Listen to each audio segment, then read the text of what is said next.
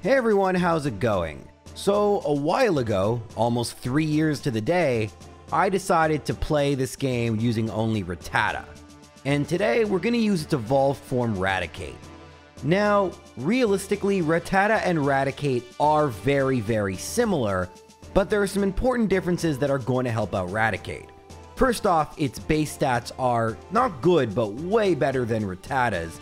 And the second thing that's going to help Raticate is how important that first thing was. Nah, in seriousness, unlike some other fully evolved Pokemon, Raticate really doesn't get any other moves. It gets Hyper Beam, but it's locked behind the game corner, so we're not going to be using it.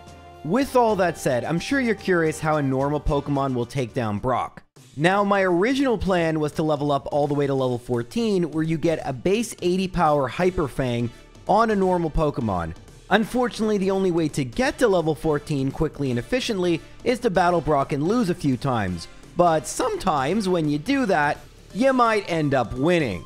I realize that battle may have gone quick, but this is a strategy we've used a bunch when a Pokemon has a defense lowering move to wait out Geodude, tank a couple tackles, and then use a much more powerful physical attack, which does decent damage Realistically, I thought Onix would knock me out, but I got incredibly lucky. You even noticed me maybe pausing for a second, just because I couldn't believe how lucky I was getting. Onix could have used Tackle at many points and just ended the battle, but hey, we'll take it. In reality, it only saves about 3 in-game minutes or so. We were very close to level 14 anyway, as evidenced by the fact that we hit level 14 after we defeat Brock. But yeah, that's one gym badge down. Typically, Rival 2 is easier than Misty, so we're going to battle Rival 2 next, and with Hyper Fang, while it's not as good as Body Slam, it's almost as good. Rival 2 as always is going to lead with Pidgeotto, and the key to Pidgeotto is just outspeeding, which we don't do because of Quick Attack, but we knock it out in two hits, meaning no Sand Attack. Hyper Fang can still miss, it's only 90% accurate, but when it hits, it deals a ton of damage, nearly one-shotting even Squirtle, and because Raticate can inexplicably learn both Bubble Beam and Water Gun, we don't even have to worry about rock type trainers going forward, which is really, really nice. Now, speaking of Bubble Beam, let's go get it by defeating Misty. Misty leads with Staryu as always, and hopefully we one-shot. We do. This is another reason you battled Misty second. Because look, we got a critical hit Water Gun, which does more than Bubble Beam and Water Gun, but we're able to tank those, despite the fact we don't have great special. If we battled Misty right away, we probably would not have been able to do that, which is why if you can, it's important to defeat Rival 2 first, because if you defeat him, you get a bunch of really easy trainers giving you lots of experience, making Misty much, much easier. Speaking of much, much easier, Rival 3 is typically much, much easier than Rival 2 because you get access to Body Slam, but because we already had Hyper Fang, I think it's going to be the same degree of easy, meaning easy first try victory. Rival 3 leads with Pidgeotto for the second to last time. Quick attack once again, but this time we one-shot. We also one-shot Raticate, we outspeed and one-shot Kadabra, and while we don't one-shot War Wartortle, it really doesn't matter. Easy, easy victory, and I don't think Lieutenant Surge will be all that much more difficult because the one stat Raticate kind of excels at, or at least relative to its other stats, is its speed. We should outspeed in one shot the first two Pokemon, the level 21 Voltorb and the level 18 Pikachu. Raichu maybe won't be, but another really good thing about the Rattata line is they can both learn Gen 1 Dig, which is a base 100 power move. That's going to help out immensely versus Agatha, and also helps versus Raichu, making it an easy first try victory. So far, Raticate has demolished every challenge that's come in its way, even the famous hiker with two Geodudes and Graveler are no match for Raticate. That means we can proceed straight to Celadon City and head to the Rocket Hideout in order to battle Giovanni. My moveset is the same because why change anything? Bubble Beam knocks out Onix and Rhyhorn in one hit. As for Kangaskhan, its defense is pretty good, and it is going to take two hits, in fact. But you know what else has helped me defeat Giovanni? Today's sponsor. ExpressVPN. That's right, I got a sponsor.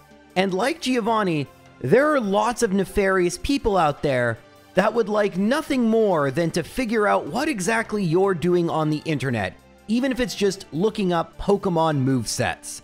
Well, I have good news for you. Like Raticate being able to dig out of Game Corner, ExpressVPN similarly allows you to avoid those prying eyes and have some peace of mind. In fact, I myself, by the time this video comes out, will be on vacation and had to use public Wi-Fi. Well, thanks to ExpressVPN, I was able to securely browse the internet and look up new Pokemon strategies without having to worry about people possibly taking my ideas for their videos. It turns out, unlike in Pokemon Red and Blue, the bad guys in real life don't all wear Team Rocket uniforms, and they're not out to steal your Pokemon. They might want my credit card and password information. But thanks to ExpressVPN, even on public Wi-Fi, I was able to browse the internet safely and securely. If this is something that sounds interesting to you, then good news, you can go to expressvpn.com slash jrose and the QR code has been in the bottom of the video. You will get three free months, so I really recommend checking it out. It's about as easy as the battle with Erika that we're gonna do right now. So Erika leads with her Victreebel, and I didn't think it would be a 1-hit KO. However, remember Raticate has really good base speed, so we get that crit and we get the 1-hit KO. We don't get a crit on Tangela, but that's okay. Tangela can't do very much to us. And we don't get a crit on Vileplume, but we tank a Petal Dance very well.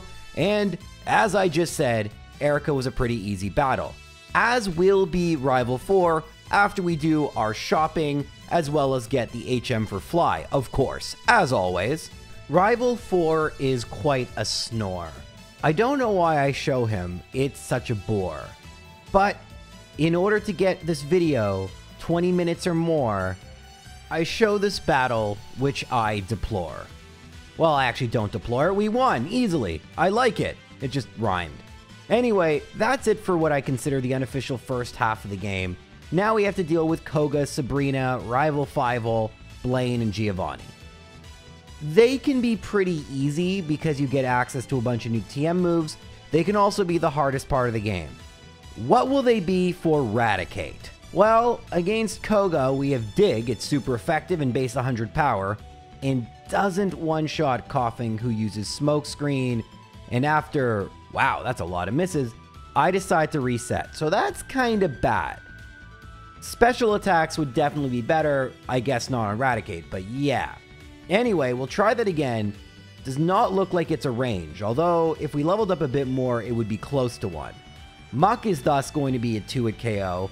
In fact, we need to use two digs. I used Body Slam, but that probably was the wrong move.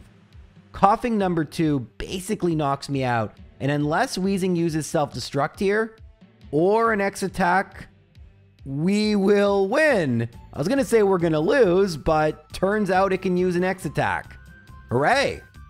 And that, by the way, only works because in Generation 1 only, items don't have increased priority, which is really strange. At least not when used by the opponent. Okay, so Koga was shockingly both more difficult and then easier than I thought he would be. So Rival Fivel seems to be the next most logical person to battle, but he might be really, really tough. Well, he leads with Pidgeot. Our best move is still Body Slam. It goes for Quick Attack, which is fine, actually. That crit probably mattered. All right, well, Growlithe I can go for Dig. That will one-shot, two down. Exeggcute is a one-shot with a crit. Alakazam is a one-shot. And Blastoise, we get a crit. And then Bubble. You know what?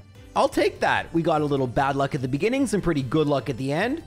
That works. First try victory against Rival Fivel. Not bad, not bad at all. So now we only have three major battles left before the end game. Sabrina, Blaine, and Giovanni, and we have super effective moves. Well, uh, Body Slam isn't super effective, but Psychic Pokemon are so weak defensively, it essentially is super effective. Uh, this is actually going really, really, really well. As of this point in the video, despite the fact it wasn't great against Brock, Raticate is looking top tier. But where a lot of Pokemon tend to falter, if not in this next section, is at the Elite Four, I'm really hopeful Raticate does really well. It'd be really cool for an early Pokemon that you're supposed to use and then discard, kind of like Jagen and Fire Emblem. It's nice when those Pokemon are actually legitimately good for the entire run. And throughout Pokemon's history, there actually are many of those Pokemon like Talonflame, Staraptor. Heck, the Gen 5 speedrun uses Stoutland. So, yeah, I'm really hoping Raticate is really good, but I don't want to get my hopes up too, too high just yet. Alright, so Sabrina, the biggest thing is outspeeding, which we do, one shot. Do we one shot Mr. Mime? No, but fully paralyzed is pretty lucky. Venomoth, we don't one shot, Leech Life is fine. And now we need to outspeed Alakazam. We don't, but it misses with Psywave. Then we paralyze it. We still have Quick Attack, which even if we didn't paralyze, it would have been fine. So, okay, that went really, really well. And I have a feeling Blaine's going to go pretty well too because we have Dig. Well, he leads with Growlithe. Unfortunately, Dig takes two turns, so it will be slightly longer than otherwise, but Growlithe is one shot, Ponyta is one shot, Rapidash we outspeed and is not one shot, Growl kind of sucks. I go for Body Slam and it doesn't even do 50. Then I go for Dig and I get a crit. Okay, that works. That works. I wish I would have done that turn one. I was trying to paralyze it, but all right. That was annoying because of Growl, but fairly easy. Now Giovanni, most of his Pokemon are either Rock or Poison type, so we can just use Dig. I have a feeling this will be another first try victory. Alright, so Giovanni leads with Rhyhorn. We do have Bubble Beam, and that will one-shot Rhyhorn. Dugtrio, we go for Dig. Nidoqueen Dig does more than Bubble Beam, but it's not going to be a one-shot. However, Body Slam will knock it out. We level up. We go for Dig. We're probably going to have to follow that up with Body Slam. And for Rhydon, we still have Bubble Beam. I'm probably going to replace that pretty soon with Ice Beam or Blizzard. But for now, Bubble Beam is perfectly fine. I've mentioned this in many of my videos, but saving TMs until the last moment is actually a really smart idea. This is why I like doing runs in Gen 5 and later, even though I barely do those runs, because having unlimited TMs is way less stressful, but hey, it's just part of the game. Anyway, now we have to go battle Rival 6. Rival 5 was pretty easy, but Rival 6 has way better moves, especially on Blastoise, so this could be pretty tricky.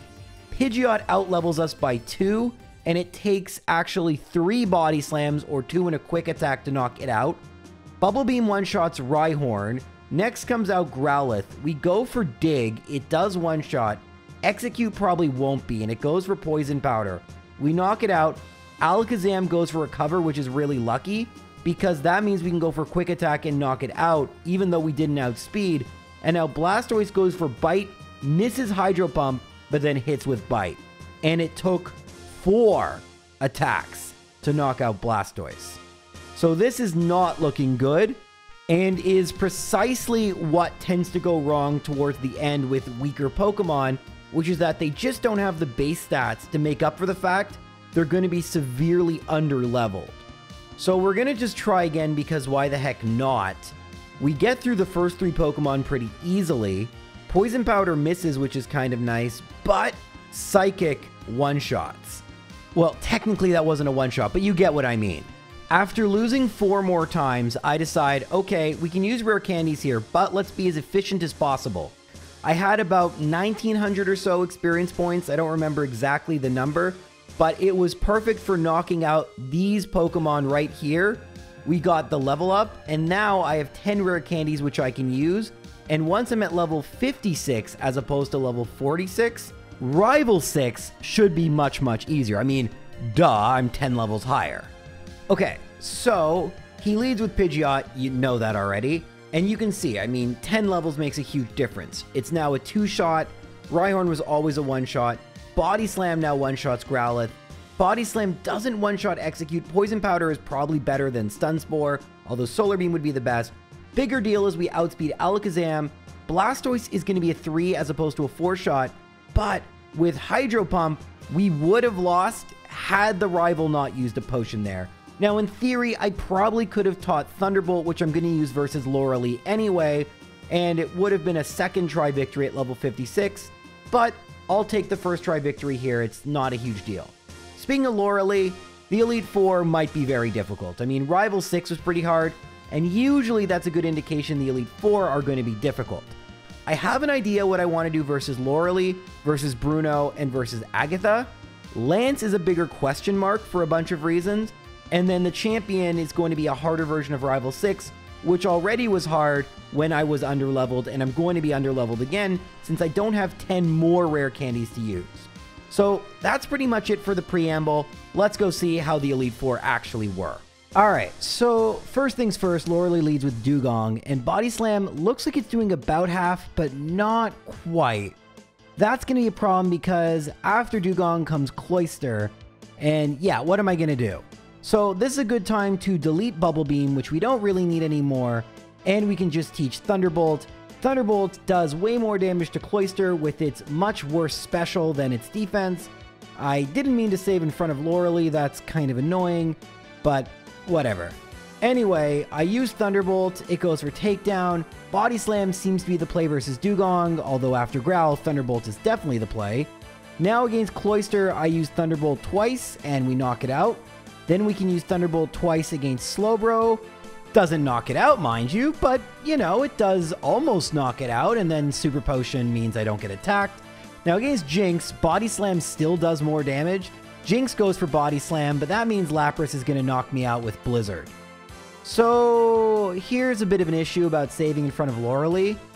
I do have a plan here, but I'm going to have to lose to Lorelei in order to use that plan because I don't have the TM with me, which is annoying, but as it turns out, really wasn't that big a deal because the Elite Four ended up being a lot more difficult than I had originally thought they would be. I look really close to knocking out Lorelei here. Jynx is a one-shot without Growl, but Hydro Pump, yeah. I'm just going to take the white out and go get Mimic, and then this battle should be a lot more consistent. Alrighty, so we're going to start the same way, Body Slam, Dugong, and potentially a 2 KO, although that crit may have mattered. Thunderbolt, that part's the same, but now against Slowbro, we're going to use Amnesia. Because Slowbro really only has Water Gun, not too worried about it attacking us. Growl is definitely a little annoying, but we can go for Thunderbolt, and because it used a bunch of Amnesias, it's not going to one-shot. Thunderbolt actually one-shots Jynx, which is pretty cool, and it one-shots Lapras unless we crit, but then the Amnesias should protect us from Blizzard or Hydro Pump. Now, against Bruno, I actually make a bit of a mistake here, but it ended up being not the biggest deal. We can use Dig against Onix, but of course, if it uses Harden and X Defense, it could take a really long time, which is annoying. Against Hitmonchan, I decide to go for Mimic and Mimic Ice Punch to save time for later, and then I go for Body Slam, which is a 2-hit KO because Hitmonchan has good defense.